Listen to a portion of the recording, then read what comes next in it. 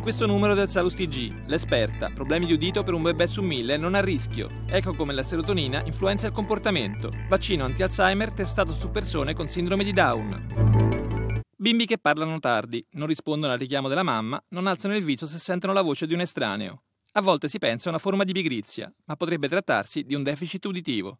Ma quanti sono i piccoli a nascere con questo problema e quali sono i fattori di rischio? La prematurità, il basso peso alla nascita, una familiarità positiva per sordità, ehm, malattie infettive in gravidanza e uno su mille dei nati non a rischio presenta problematiche uditive. Come si rileva un deficit uditivo nei bebè? Con uno screening uditivo neonatale fatto direttamente nel reparto maternità attraverso un apparecchio molto semplice da utilizzare che può usare il personale del nido, le autoemissioni acustiche che registrano l'attività proprio della coclea, del, dell'organo neurosensoriale uditivo.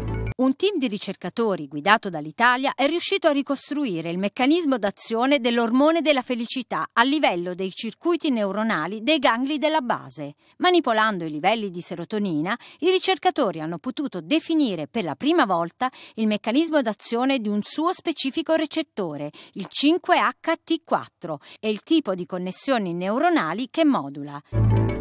Potrebbero essere le persone con sindrome di Down a svelare il mistero della malattia di Alzheimer. Negli Stati Uniti uno studio clinico su giovani adulti con sindrome di Down sta testando un vaccino sperimentale contro l'Alzheimer, patologia di cui le persone con questa sindrome hanno un rischio maggiore di ammalarsi con l'età. Il vaccino dovrebbe prevenire l'Alzheimer stimolando il sistema immunitario dei soggetti e bloccando la formazione delle placche nel cervello.